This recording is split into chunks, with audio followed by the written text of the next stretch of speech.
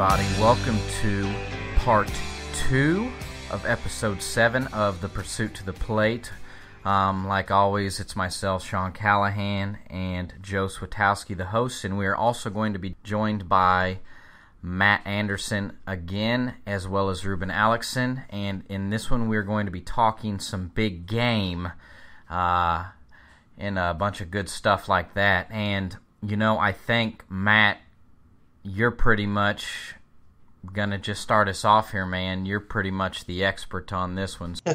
um, if anybody, anybody, uh, one thing I will say is Matt has has got a couple blog pieces out there, and um, I think if you would tell them how to find them, it would be better than myself. Yeah, but they're really interesting reads, man, and it it'll give you a really good perspective on where he's coming from too, more so than what we talk about tonight. So, my uh, I'm I'm currently writing a blog about my dad's hunting career, which is just it's really mind-boggling because my dad is 74 years old and he has killed a buck for the last 61 consecutive years, which is just that's crazy. Like 61 straight years of killing a buck every year. It's it's just something that the average person can't really wrap their mind around. And for a guy that never had any money, never had the best gear, never had, you know, any real advantages when it came to hunting, he just always seemed to make it work.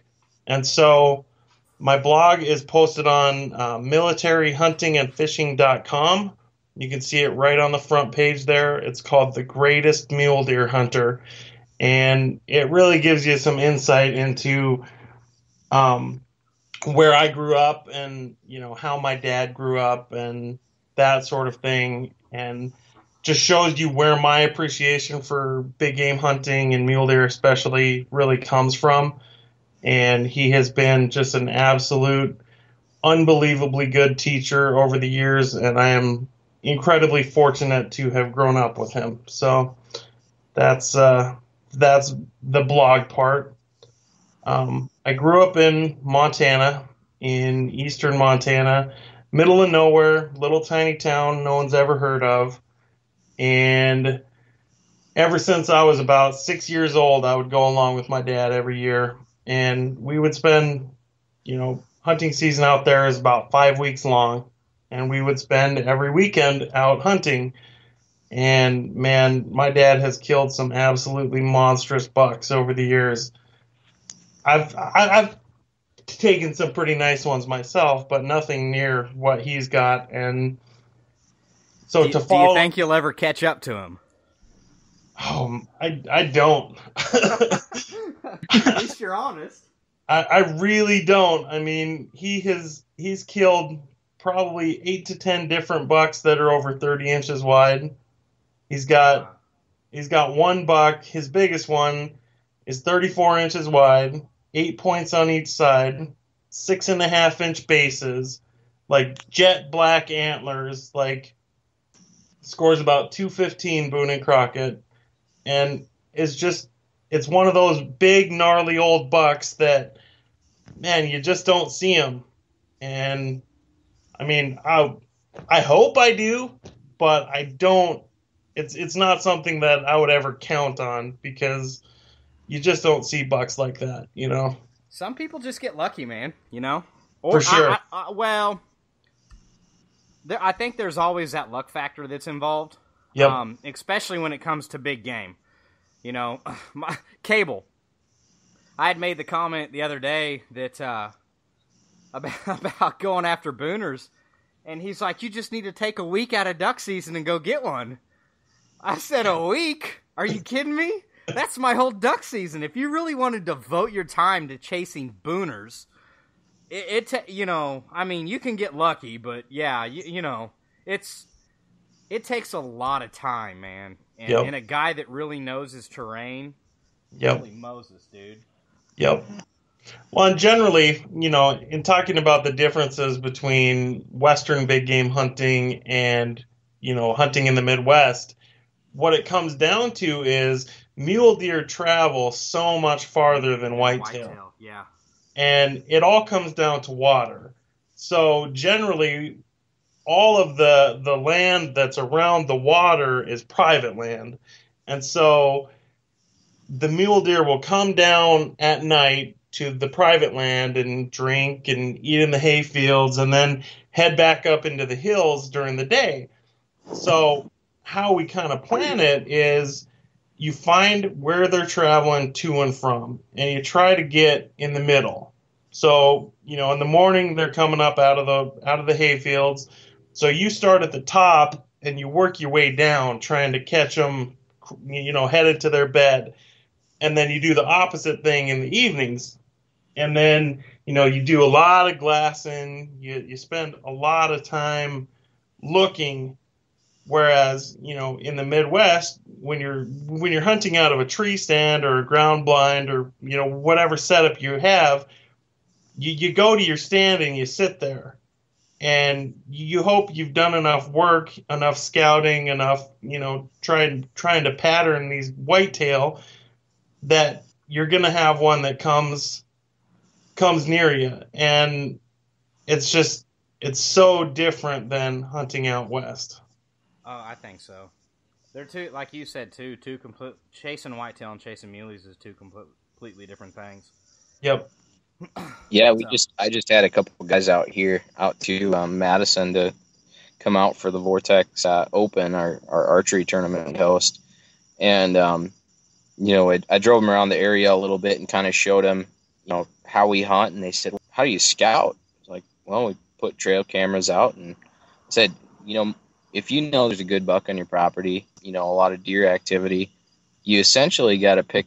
The right time where that deer walks past you within range, and your whole season boils down to you hope that deer walks within 45, 50 yards of you. Yep. Yeah. It's a completely different dynamic. Yep.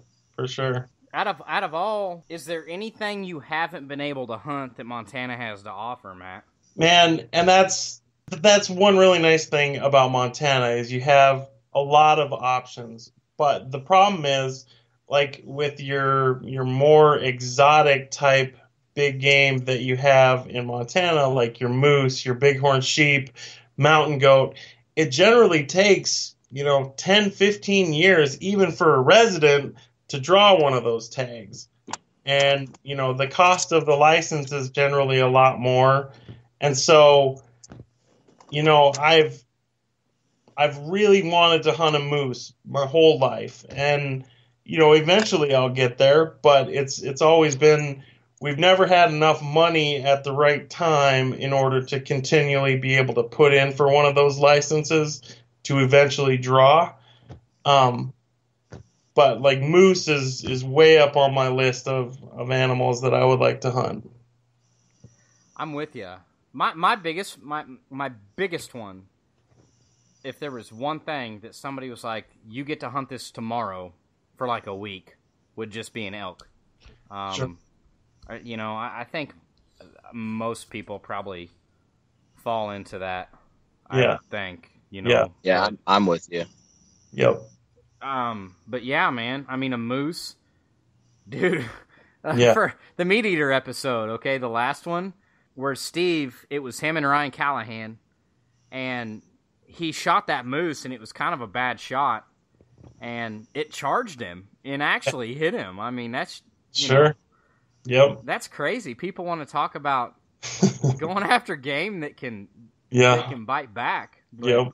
For sure. Oh man, and they're dude, they're tough. The one thing I'll never forget about uh, like moose stories is I had an English teacher, and I think it was seventh, eighth grade, that he would bring in newspapers from you know like the Examiner of whatever city, and he subscribed to these things, and he would bring a new one in every every week for us to kind of go through the topics and stuff just to see how uh, different. St- it was kind of more. It would have been better for like history or something, you know. But um, just to see what different things were happening throughout the country. And uh, one of the stories was there was a moose that was on some train tracks up in Alaska, and apparently he wanted those train tracks, and the train was coming, and he he wasn't going nowhere. Yep. Literally derailed the train. Sure. It killed the moose, but Yeah. I mean he he derailed a freaking train. Yeah. That's insane. Yeah. You don't play around with moose. I mean, no, in North Dakota, um, one of the duck hunts we went on, it was probably the least successful hunt because I don't even think we got a bird. But uh, when we first set up, we were looking in the field, and if you've ever been to North Dakota, most people will tell you you get a lifetime one moose tag for Yep. a in like resident, Sure. and and that's it. You know they don't have a whole bunch of them. yep. But uh, we show up, we get out, we start pulling our decoys out, and Mark, my buddy, goes, "Holy crap, those are moose down there by the body of water we were gonna hunt." And we got our binoculars out, which we carried with us, and we were looking, and I kid you not, it was two bull moose. One of them was huge. Sure. So, so not only did I get to see a moose, but they were two bulls. And then Mark tells me, he goes, "All right, they're pretty much where we need to be at. When we start walking towards them, zigzag." And I'm like, "Why the hell do we need to zigzag toward the pond, man? We need to get set up." He goes, "You don't walk straight towards a moose." and that kind of, you know, I I'm Sure. from Missouri, you know, I don't know. And Yeah. at that point in time, you realize you're like, damn, these things are tough. These are mean, mean creatures. Yep. But yeah, That's all bad. You, every summer, you, you you always hear about guys that they're out fly fishing or whatever in in Montana, and they get chased by you know a cow with two calves or whatever. And I mean, it happens. My brother was chased up a tree, and he had the cow like circle his tree for 45 minutes and wouldn't let him come down. She was just trying to get him, like kept kicking at the tree and trying to reach up even and bite him. Like just they are not an animal that you want to play around with. no, not at all. I, I think it's the biggest miscon- misconception with like bears being in North America. Sure. The uh, you know most come to get you, but Yeah. ah, yeah, I don't know. Some of those big herbivores can really come after you. That's that is a fact. for sure. What, as far as when it comes to hunting mule deer, hmm um, you know what? What generally, like, how, how do you do it, man? Um, obviously, you're not going to go sit in a blind. No, no. Um, you know, things that you look for. You look for travel corridors, and it can be anywhere from you know one big drainage area that covers several miles to you know a nice brushy draw that the deer can feed along as they head up to their bedding areas, and it can be six, seven miles from where they that they spent the night you know, drinking and eating in the hayfields. I mean, they travel a long way. And so, you know, if you're looking for if you're looking for their bedding areas, if you know where that is, that generally depending on the time of day will give you a good place to start. But you really have to spend a lot of time glassing and, you know, just watching deer movement in general. And the nice thing about mule deer is they're not near as secretive as a whitetail is going to be. So you're going to see them out at times of the day where you never see a whitetail. Hmm. So that kind of gives you a better idea of at least where they're headed. And, you know, so we'll start at the top of these big ridges that are, you know, cutting into a big drainage area. And we'll start up at the top and, you know, we'll look for bedding areas and you know you'll find all these beds right around the tops like just down off of the tops of these big ridges. And so you know that that's where they're headed. So now you, you have to put in your mind like where are they coming from? So what's the nearest body of water? And so then you try to get yourself somewhere in the middle. And i mean there are days you know five miles hiking in a day is pretty much standard. If if if you can't hike five miles a day, you probably don't want to try mule deer hunting. Um, and as many as ten miles in a day, you you you just don't know. And every area is a little bit different. So, like where we go, it's all public land. It's all, you know, national forest and everything. But my dad's been hunting there for 61 years. So we know where to go and we know how to hunt each specific area, and each one is different. So if you don't know where the deer are coming from, it's pretty difficult to figure out where they're going to go. Are they are they pretty routine? Like I know early whitetails, man. If if Sure. you can find a big buck, Yep. it's more than likely that guy is going to be doing the same thing Yep. and Early until rut hits, and then once rut Yeah. hits, it's all freaking chaos. Yeah. Early season mule deer's the same way. Um, you know, and generally the does will kind of do the same type of things. And early season, the bucks will kind of be together. The big bucks are going to be by themselves generally, or one or two bucks together. And then once the rut hits, man, all bets are off. And you can see deer at any time of day, anywhere, and, you know, it, it doesn't even matter. So it just figuring out what the patterns are and where the deer are headed is kind of how how you start and then just figuring out what to look for and you know types of terrain that's going to be beneficial and is there feed? Is there you know is there cover so they can bed down and feel safe but still have a good enough view of the country that they can see predators that are going to sneak up on them um, they look for these high vantage points that they can see for a long ways, and that presents its challenges in and of itself. So a lot of times, if you if, if you're hunting on these big high ridges during the day, you can jump off from these big points. Uh, you know, bucks that were bedded down just off of the top. You come up over top of them and jump them off, and then they take off running or whatever. And you know, there's a pretty common misconception about mule deer that you know they'll run for a while and then they'll stop and look back at you.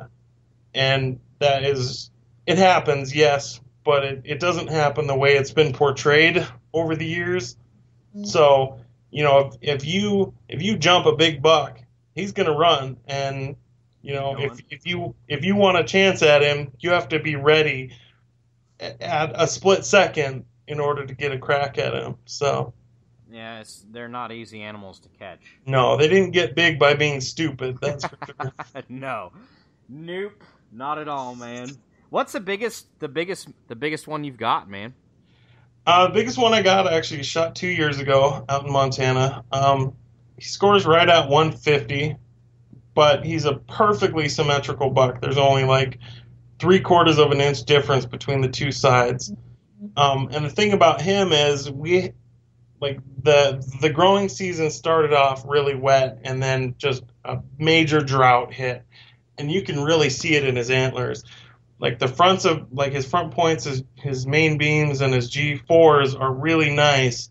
And then you get up into the tops and it just really peters out. And you can really see how important water. is during the growing season for these deer. So i mean he could have been he, he probably would have been you know a 160 buck if he had had good quality water and feed throughout the entire growing season but he's a really nice buck. Um, really uh, nice bladed points and a mature deer. So, and I've killed ten or so bucks that are you know between 22 and 24 inches wide. Nice four point, you know, western count bucks. So it would be like an eight or a ten point for, you know, for how you guys would classify a, a whitetail. Huh. So Yeah, it's different how, you know, we're here. You know, yeah, I got a twelve pointer, and then there's six by six or Yep. five by fives, four Yep. by fours. Yeah, Yeah. That's Well, a, you know, a 12 point can be a, a, a four by eight. You just don't know. You Yeah. know, you get some of these weird non typicals, and you pretty much have to go whatever by whatever. And and then, you know, your basic mule deer buck is going to have pretty much four points on each side. And sometimes they'll have eye guards and sometimes they won't. You know, mule deer generally don't have the eye guards that a whitetail has, but you know their antlers are generally a lot bigger too. So oh, they're huge deer too, man. yeah, for sure. Hey Matt, Yep. What uh, I mean, what type of terrain is it? I mean, it, it's it's not mountains, right? I mean, you're in No, no, it's Eastern kind of a weird transition zone, and where we hunt, you know, it's about probably 400 square miles of national forest, and in that 400 square miles, you have anywhere from about 4,500 feet elevation all the way down to like a thousand, and you have anything from really thick, heavy timber to desert, basically, and everything in between. And it's kind of a a lot of it's you know it's really dry country so it's all kind of rugged rough badlands type country when you get right down to it. So, so you it- better be prepared for damn near anything, I guess.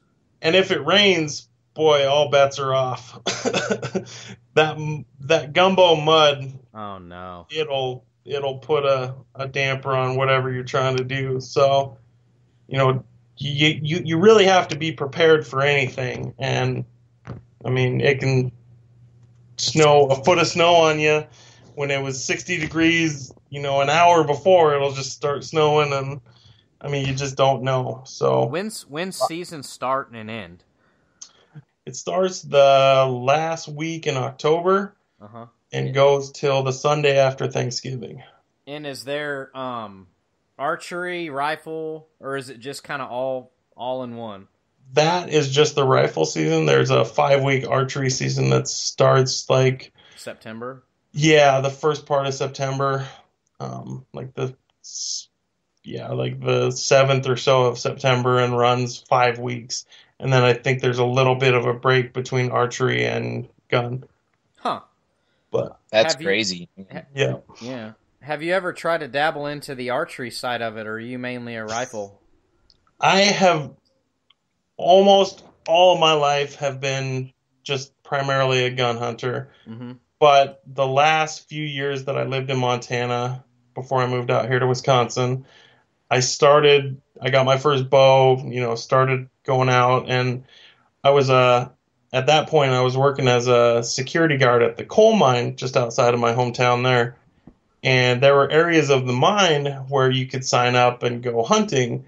So I would just work a shift and then go bow hunting right after, you know, till dark and boy, it's hard, man. Like spotting them and you know trying to make a, a stock and figuring out where they're headed and um, you know I've I, I, I never got a, a mule deer with my bow, but I I loosed a couple arrows at various points with no success. But I can imagine it's a completely different ball game, man. for sure, Um, in anytime you hunt anything with a bow, yeah, especially when you're talking a spot and stalk situation, yep, you better have a lot of time on your hands, a lot more patience, yep, and a lot of food and water with you because it's not. I mean, you're, you, dude. It, it it's just unreal. Um, I think was it.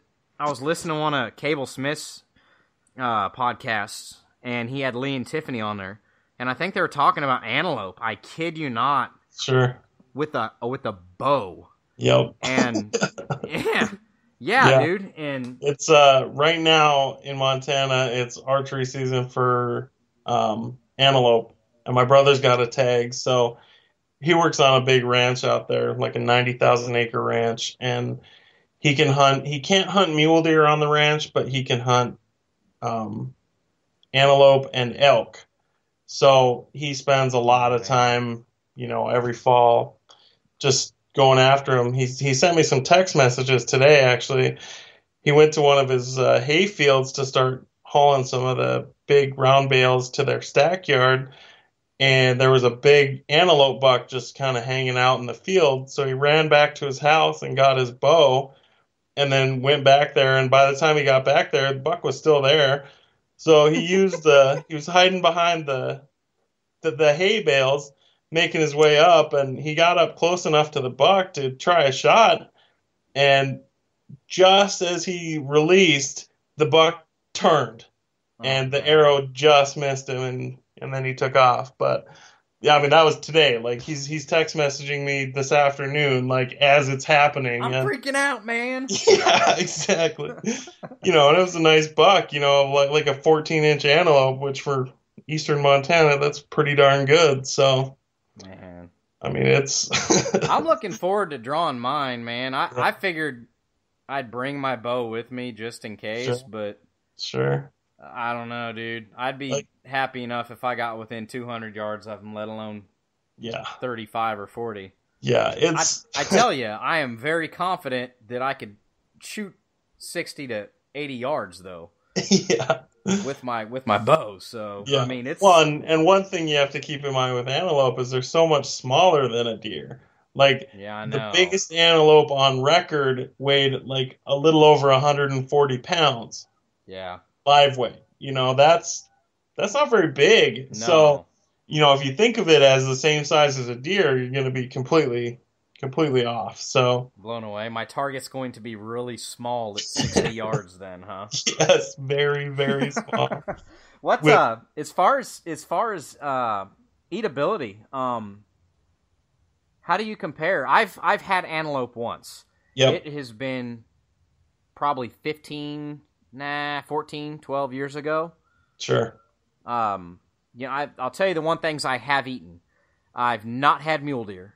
Okay. Um but I have had caribou, moose, bison, elk, and I think Carp. yeah, Yeah. or no.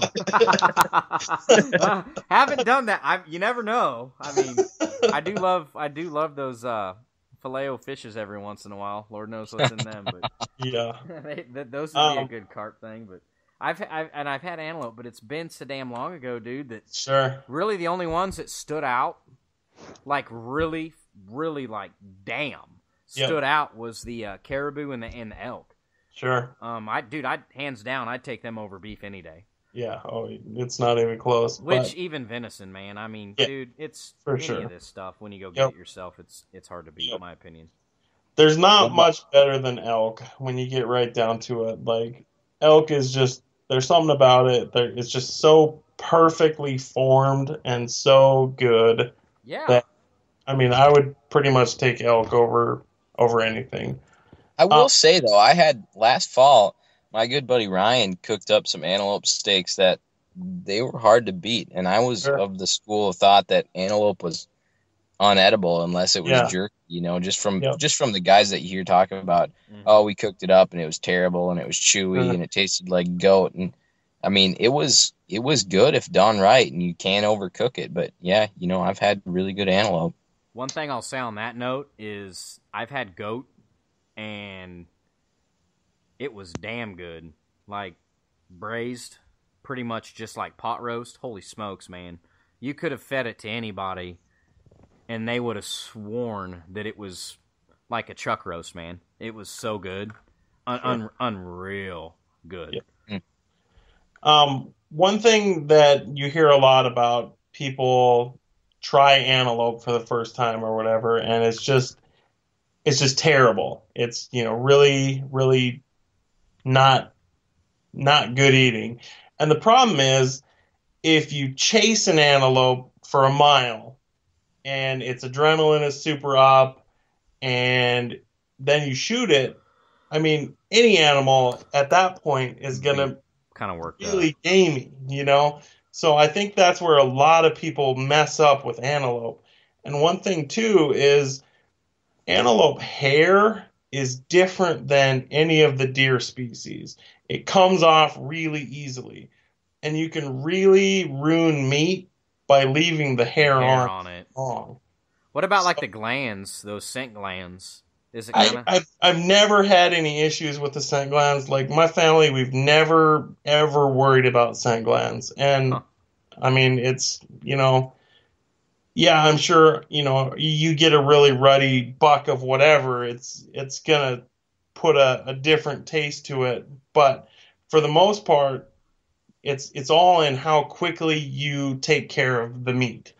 And with antelope, it's generally an earlier season. So Mm-hmm. the temperatures are going to be pretty warm. So that's something you have to keep in mind too.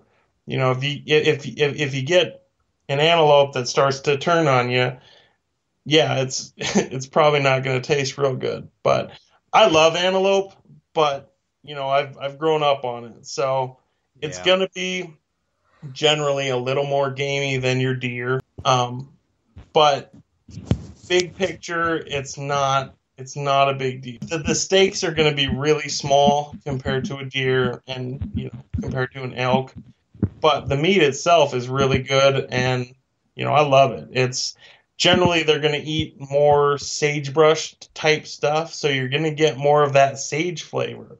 So Don't muleys kind of feed on that stuff too quite a bit though? Yep, absolutely. And that's that's where the differences between a whitetail and a mule deer come into play too, is what they're eating.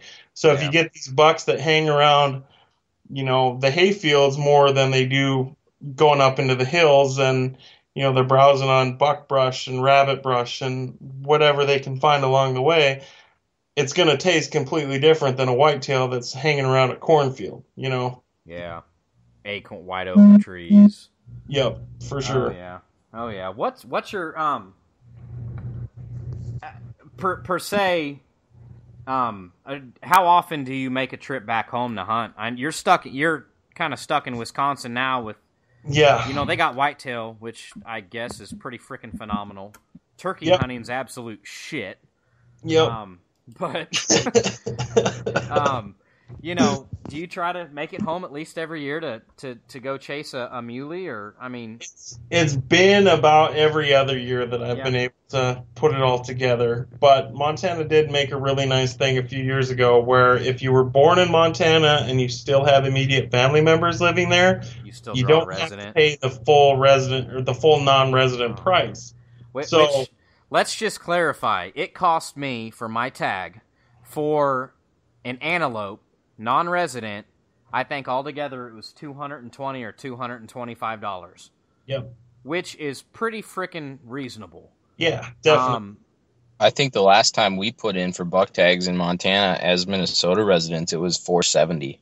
yeah. J- And Joe, are are you still trying to do your muley hunt?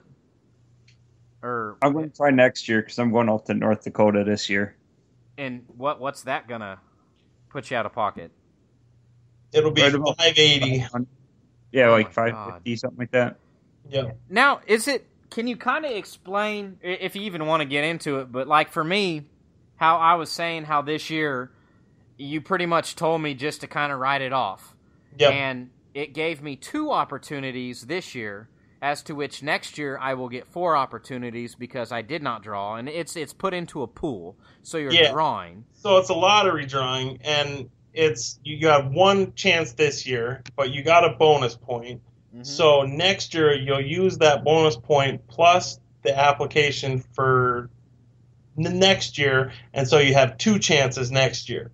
You know, and then if you don't draw next year, you'll have two bonus points plus your your regular application, so you'll have three chances. and it's and pretty so- much a shoe in at that point. Y- Yeah, I mean they've they've kind of really lowered the number of antelope tags in that area quite a bit. We had a die off a few years ago Mhm. in the winter that really hit them hard, but they're coming back, and so I expect in the next couple of years that that the quotas that they're going to offer for the tags is going to be higher.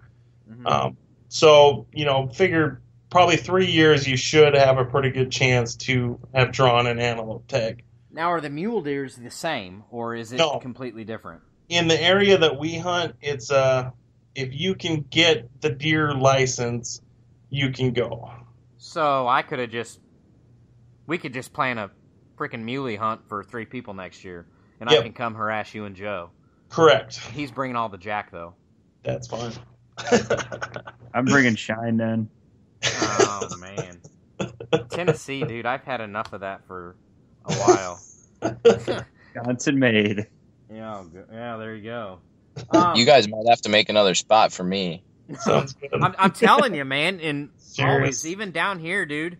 Uh, Missouri is uh, incredibly affordable state for out-of-state people to come duck hunt in, Yep. And bucks. um, you know, always welcome. You know, it's never guaranteed. Which part of the reason I don't want to do a guide service is the fact that generally we go out and we do fairly well. But there's bad days and I don't feel right. I'd rather just bring somebody along, you know. Show them what I've- can happen if it's good and show them what can happen if it's bad. Yep. For yeah, sure. you got to have really, really good property, you know, guide, management if if you're a guide. Uh-huh. And even then it's not a shoe in, dude. Yep. But yeah. And, Dude, and, and as far as the that, food goes, man, I think one of the biggest things I try not to take what people say uh, if stuff is nasty. I I tend to ignore it for the main reason that everybody that doesn't hunt ducks or geese, the first thing when I tell them I hunt ducks or geese is they always are like, "Do you eat those?" and I'm like, "Well, yeah." And they look at me with this complete disbelief and utter awe of you're eating that duck and goose and I'm just looking at them like, "Yeah, it's good." And the first thing that comes out of their mouth every time those tough, greasy, nasty things. I, I, how in the hell was Yep. your mom or grandma cooking these poor bastards? You know, to make them tough and greasy. Yep. And and duck, goose, goose, man, you I can cook goose, and and you wouldn't know the difference between it and a sirloin steak. You do get real grainy ones, and you know that right when you cut into it when you fillet it. But so you know that's usually one of those ones you beat the crap out of it, tenderize it, and go on about your business and cook it like chicken fried steak or jerky or whatever. But Yep. if you get you know decent goose, man, and it's cutting well, it doesn't feel real tough when you're cutting it. Medium rare, cook it on there, and people literally are like, "Man, that's really good. That's goose," and you're like, "Yeah." Duck, Yeah, I will say, has yeah. Oh, oh my God, it's it's fantastic. Duck, especially if it's overcooked, can kind of get that beef liver taste, which doesn't bother me because I like beef liver. But you know, that's that's the biggest mis you know thing where I've seen is it, you can get that, and it's all you can't you can't overcook it. People think it's a bird, so they want to cook it like chicken. They're like, yeah, we have it up to 185 degrees, and it's like, oh my god, throw it in the trash. you just ruined it, man. Yeah. But Canvas back is the best meat on the planet. that's what you said. I've never It- shot one, man. Man. Everything but, dude. Hands down, my favorite piece of meat. Everything but. Um, so yeah, you know, back to it. I, I try to take because I've had people tell me that they don't like antelope because they're they eat that sage grass or sagebrush, and it's like, well, it's kind of all how you cook it, man. I Yeah. mean, Well, uh, yeah, if you, if if you don't know how to prepare it, if you don't know what you're looking at, what even cuts of meat that you have, yeah, yeah, you can probably make some pretty nasty food. But if, if you know what you're doing, if you've you've done it before, you know how to cook venison, you can probably cook antelope, and it's probably going to turn out just fine. So Yeah. I'm Yeah. excited, man. I, I was like, I was kind of torn because I make the trip up, and I, I'm hoping that it can kind of be coordinated to where I can come up with you guys too and hang out. But I make the trip up to North Dakota as well, and um, I don't know if the times are going to coincide, but you know, that would be one thing if the antelope tag did get drawn that Yeah. I would probably miss out because it's usually right. No, we usually go the last, like after right after Halloween, sure, and mainly yeah, kids. antelope still goes on because it's kind of a it's it's a slightly different season than the deer and elk. Yeah. Um, so it starts like the first week in October and runs five weeks. So you get the first part of November there too. Yeah.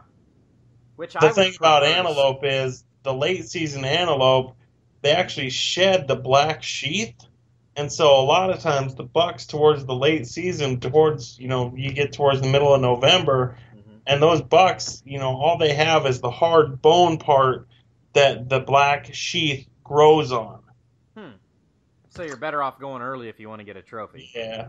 And that's Yeah. the other thing people t- like when eating, they don't take into consideration, man. If you're out there, if you're out there going for the biggest buck possible, you know, Yeah. Like Steven was just talking about on the last episode of how he wants to go after those. If you truly, truly, truly are food hunting, You go after a spike because Yeah. you know that is a one and a half year old deer and he's Definitely. prime. Yep. But you know, you're, when you're out horn chasing, you, you lose that. You're not going to go shoot a freaking five, six, seven year old cow and Yeah. expect to get the best freaking ribeye of the world. Just- Definitely. Just, not, just doesn't happen.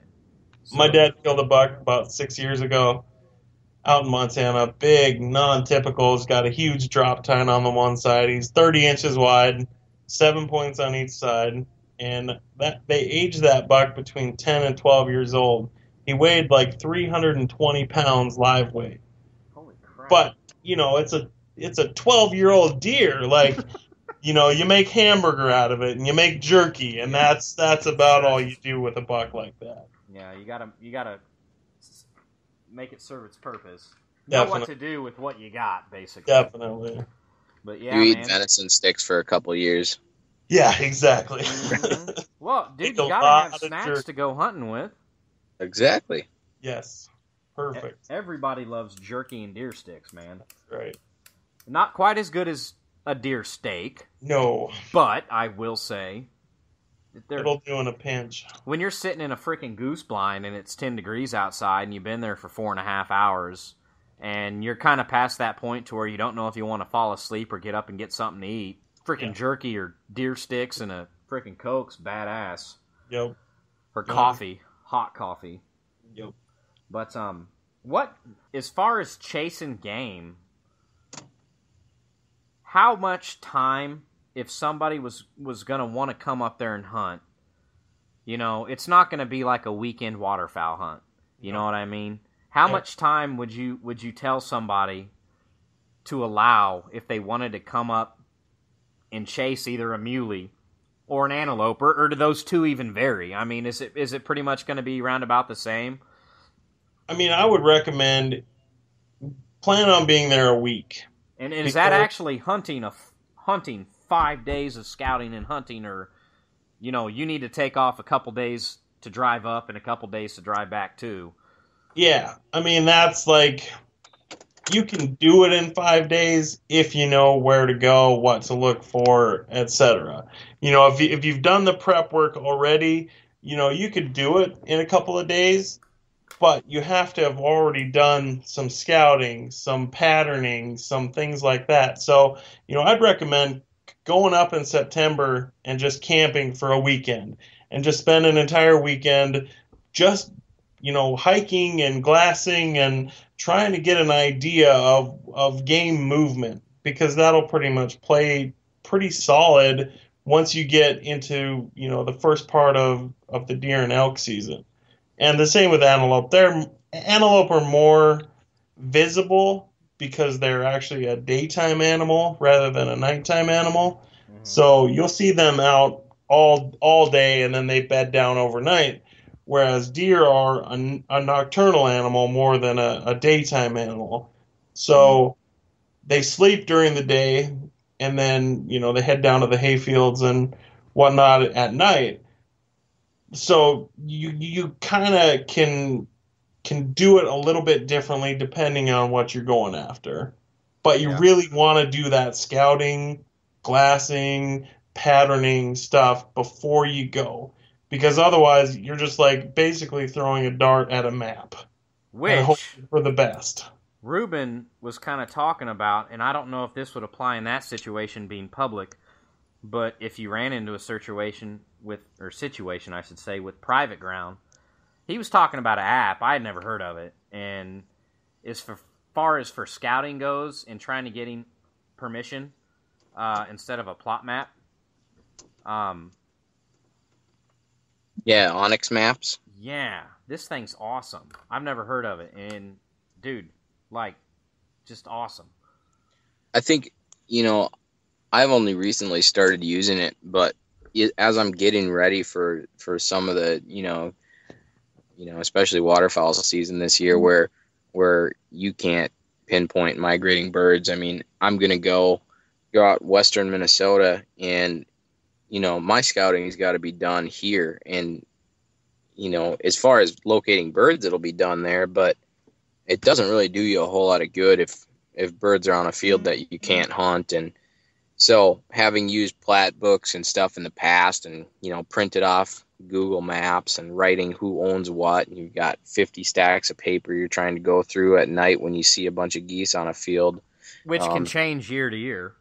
Yeah, oh yeah, man. But I, I would say like the one thing we've done really well hunting, you know, in, in eastern Dakotas and western Minnesota is kind of locking down some permission and treating landowners really well, you know, to the point where, you know, it's a 600 acre beet or a bean field or a corn field or whatever, but but it's still their property or they're leasing it or whatever. You still you still need to show them your appreciation. So I mean, what we've done really well is kept track of you know who owns the property and and you know treating them right. So when we come back next year, it's it's there for us. But I would say the one thing that happens all the time is you'll be driving out and you'll see geese landing, you know, and there might be a tornado of birds out in the field, and you have no idea who owns it. This the onX Map software that we've been using is is awesome because you can it literally links up to your phone and I'm not a real techie person but it links up to your GPS and your phone you know if you've got your GPS turned on it knows where you're at and uh, you can you can look at you know property management down to the section and down to you know individual fields and whatnot and um, when it when it boils down to it it's a lot easier than trying to find a tractor driving around at night and, and ask who owns the field that just got plowed Rule um, number one: never stop a farmer. yeah yeah That's a good way to I mean, not get you got- permission. I'll tell you that right now.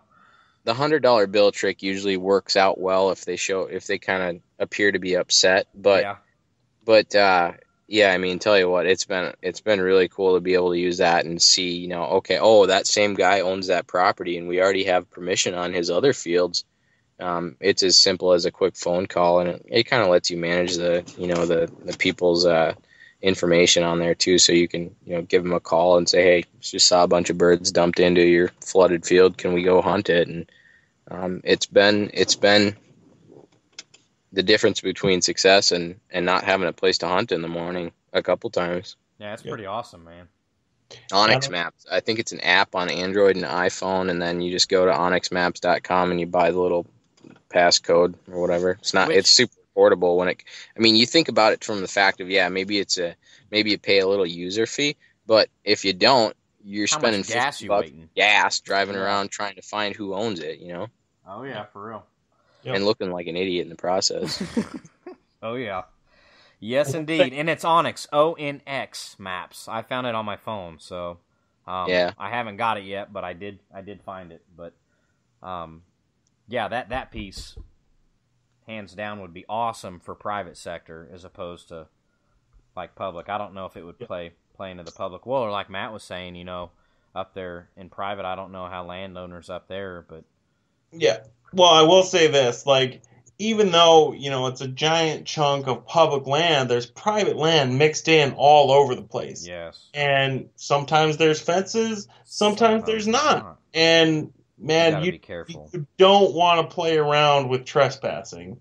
Like No. and take it really seriously. And as a non-resident, you're generally going to have a harder time getting, Getting permission permission. Yep. because they've been burned so many, Many times, times. by people abusing the privilege. So yeah, be very, very respectful of whatever piece of land that you, you you're on. You know, follow the rules. Like it's it it seems like it shouldn't be something that you have to reiterate, but but it is. so often it's easy to abuse the privilege and so just follow the rules, man. They're there for a reason. Yep. Everything goes smooth if you're doing that. Usually. I mean, you may not get what you want as the end result, but you could get a lot worse. Exactly. So, but man, I, you know, hell, we could probably go on and on and on. Uh, I don't know if there's anything you want to touch on, on, you know, the big game stuff. Um, you kind of got out the whole blog part, you know, that you're doing, talking about your dad, how you came up. Um, you know, your favorite stuff to hunt's pretty obvious at now. Yeah. Um, what's the favorite? I get the only other thing I could say, man, is is there a favorite way that you like to prepare mule deer?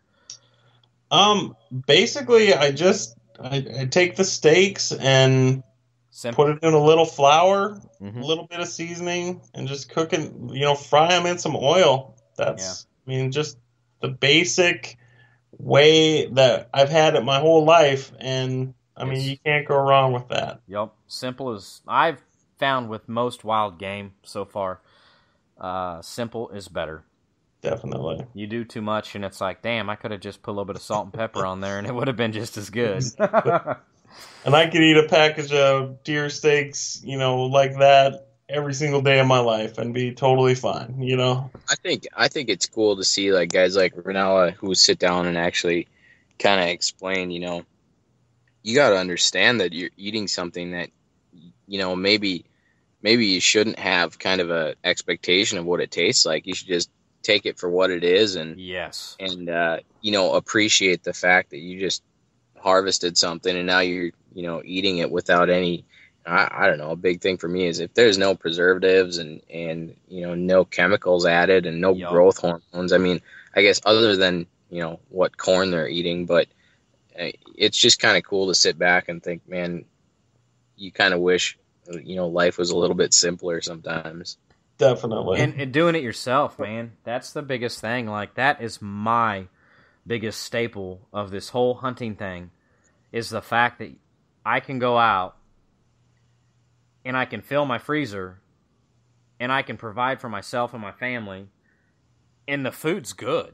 Like Yeah. good. I don't care what anybody says, hands down. I can cook anything that I kill and the people will eat eat it and they will be like, "You know what? That wasn't just like, yeah, that was all right. That was like, damn, that was good." Yep. And you did it, it that's that's my whole thing about it, kind of like what you're saying. I think sometimes people read too much into it, and when all actuality of it is, it's meat that you went out and got yourself. There's an intimacy involved with that, Yep.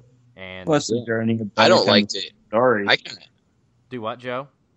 Is there a better time to share a story than sitting down around a table eating something you just harvested? No, because it's not like, yeah, how how many times is it just, yeah, that animal walked out in front of me and I shot it. Yeah. And that's No. it, you know. There's never, never. I mean, every once in a while, I'll be like, dude, Yeah. I sat there all day and didn't see nothing, and bam, right there, and it was done in five seconds.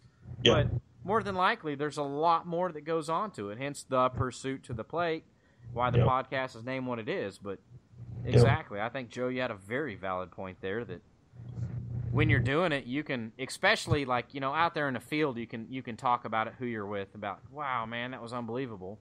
In prior hunts, and then when you're actually, you know, like me, I take it to tailgates a lot to sporting events here, and that's kind of our big staple. Is everybody always wants me to bring wild game, and uh, you know, the whole time is people are just asking me, well, how'd you get this, or you know, and and that in itself, in a sense, that people people take an interest, even though they may not want to go out and do the same thing, they think it's really neat that I was able to do that. So, Yep.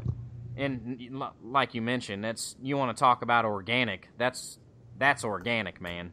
It it doesn't get any more organic than that, in my opinion.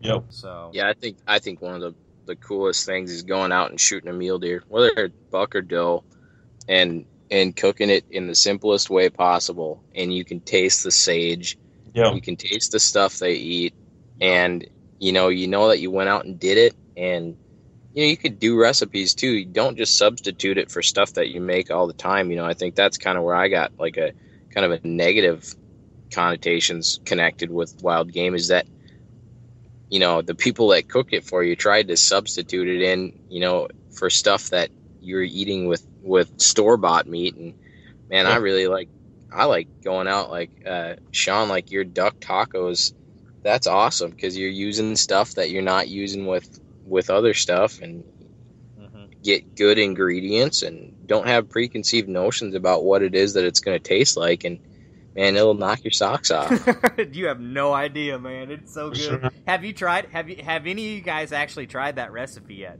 No, i not- did It, it's good. It is. It's awesome. Good, man. And I just kind of came up with it, man.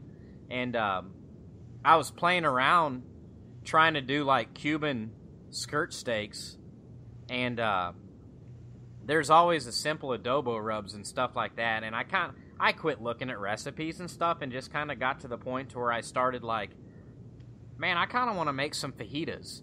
So I went downstairs and got a bunch of duck and goose, and I just started mixing stuff together. And that same thing with the seasoning on the website. I just started mixing stuff together. And of course, it's all trial and error, but you know, you write down what you did and you're like, you know what, I think it needs a little bit more of this or a little bit less of that. And it comes out, and finally, in the end result, it's something that's like that. It's like, damn, it's really good. Yep. But uh, yeah, I don't know, man. Uh, I mean, there's a lot of things we can touch on in the future. I mean, you know, we can oh, dude. number of directions with whatever, and but I think it's a good place to start. Yeah, for real. I think I think we basically just gave ourselves a really good format to take off on another episode. I'd love to. I mean, I'd love to just see it. Just waterfowl hunting. You know, you can. That's mm-hmm. the cool thing about waterfowl hunting is there's duck and goose hunting. Well, then you take goose hunting, you separate it into water hunting, and and you separate it into field hunting, and then you also talk about early season. And you talk about migrators, and then I mean, you've got eight topics from one topic. Yep. I know it, man. I'd be happy to be a part of any of those episodes. Absolutely. You know, me and Joe were just talking about that because we're kind of going with the seasons, and I teal season starts here September sixth. Uh, Ours is the first. yeah, which is crazy because you guys need to be hunting now. There, uh, we we have teal, so you have to have teal. I got about 400 sitting on a marsh by my uncle, so Go shoot them real quick. I'll wait till the first. Legally, legally. But um, yeah, man. So we're kind of going with the seasons. I think me and Joe were talking, and we're pretty much hard set on the next episode being waterfowl in a sense. And I think we're probably going to have. I think Next the next episode. few episodes are probably going to be waterfowl. So Yep. yeah, we man, we'd love to have you on. I know we had talked to uh, Christian Curtis from Banded, which um, a lot of people, if they've been in the industry long enough, they probably know who he is. Um, but uh, we're gonna have him on one of the waterfowl episodes, and I'd like to have you back on too, Reuben, for that. Um, That'd be a blast. yeah, definitely. So, but yeah, folks, that's what we're going to be getting into next is waterfowl. Uh, not quite sure what, but it will be ducks and geese finally. More than more than likely, we're going to be talking. I think maybe ducks and teal and stuff like that. Kind of still stick with the season about teal hunts and. What do you think, Joe? I think start with teal, some early season goose hunting. Mm-hmm. I know we're talking the next episode, kind of doing a little bit of stories too, Yeah, getting perfect. into I used to do we've um, when I was working with all the, you know, with the guys from Zink and Avery and stuff. Ap- stuff even after that, I used to do uh, early early goose um, seminars for Cabela's waterfowl days and and Sportsman's Warehouse waterfowl extravaganzas. So Really? I'm I'm happy to talk about early season Midwest goose hunting. There you go, man. It's a different ball game than uh, chasing migrators for sure. Yeah, absolutely. But uh, yeah, man. So we'll have to get get coordinated and see what we can come up with. But for sure, uh, next episode's waterfowl. I do know that. We just don't know what kind yet. So Sounds great. Um, man, R- Reuben, Matt, uh, huge pleasure. I, I, Absolutely. thanks, thanks for joining us, man. I I appreciate it. Yep. Taking the time. Poor, poor Reuben literally had to go, like, sit in a parking lot this whole time, eat Taco Bell. The Taco Bell was the least pleasurable part of this. And those chicken quesaritos are pretty freaking fantastic. They're not bad. Um, you know, I think either way, you have a real deep sense of regret after Taco Bell. Dude, I I 100% feel you. It's always such a good idea, and you're like, damn, why did I just do that to myself? And, and, you know, and I'm not even drinking it all. So it's like some people, some people really question, like, man, how can how can you eat Taco Bell sober? You're- You're gonna feel that in the morning. Oh, yeah. Sure. In the morning, I already feel it. That's why I'm signing out here. well, buddy, we need to let you get home. Uh, we'll probably wrap it up, and uh, like I said, appreciate everybody, everybody joining us, man. It was fun. Yep. Been a lot of fun. Definitely. Hope All you right, guys. thanks, guys. Yeah, thanks for thanks for coming on, Reuben and Matt. Always a pleasure. How's your uh, how's your little funding going for your deal, dude? Horrible or good or what? Pretty horrible, but we'll uh we'll, we'll see what we can do here. It's all good. It was basically a shot in the dark to begin with, so Yeah. But- Well, it's all good. Uh, All right, you got to guys. We'll start talk somewhere. to you soon. All right. Yeah, have a good one, Reuben. Thanks a lot, John. We'll talk to you soon. All right, buddy. Awesome. Thanks. Yeah, for sure. You know that was a great show. Thanks for listening again, everybody. Um, I want to want to thank you again as well uh, for everybody that has listened.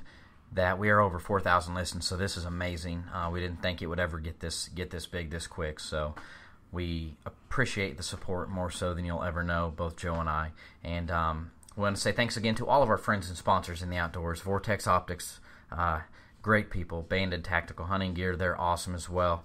Uh, Brute Outdoors, some of the best outdoor tough five day coolers on the market. Um, puddle set decoy anchors, man, uh, the only lineless decoy anchoring system.